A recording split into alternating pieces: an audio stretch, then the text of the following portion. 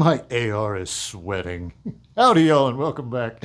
Just brought this from the nice icy cold air condition to the rather swampy garage out here, and it, it's sweating like a like a can of Coke or something.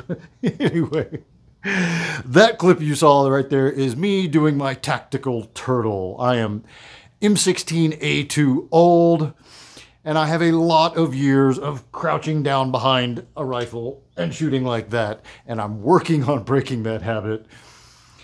One thing was the elevated riser from Primary Arms for the Cyclops gets it up a little higher, and now we're adding the FEER, that's Field Expedient Elevated Riser from SC Irregulars, that's Slade if you follow the Tactical Instagrams and YouTube.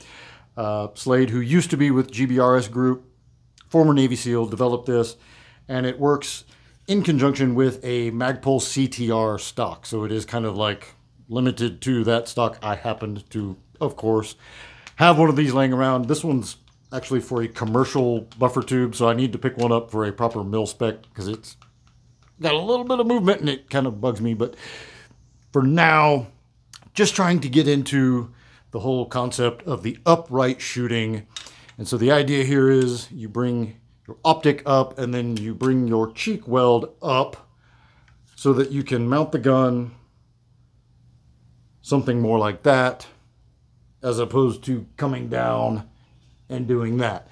Watching a lot of footage of my recent training, I'm losing like a full, not a full second, but a good like six tenths of a second or something on every stage. Every time I'm like up, bringing up my AR, I'm coming down to it, and that takes time. And so if I could just shave some of that time off and maintain a more erect posture throughout the day. It helps avoid getting that crunched up like neck jive going on. Long day of training, long day at the range. I pretty much always have a bit of a headache, and a lot of that generates from back here because I tactical turtle. So I've been working on that with my pistol shooting.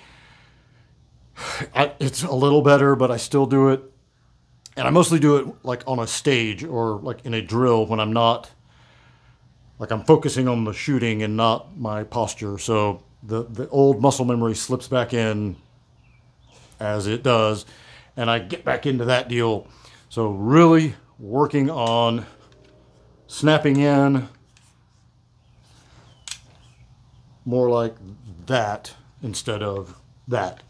So anyway, always experimenting, always trying new things and challenging myself. And hopefully this will be helpful in that quest. So I'll keep y'all posted how it goes. It'll be a minute before I get this over to the range. But when I do, I'll let you know. That's all I got for today. Until next time, be easy, y'all.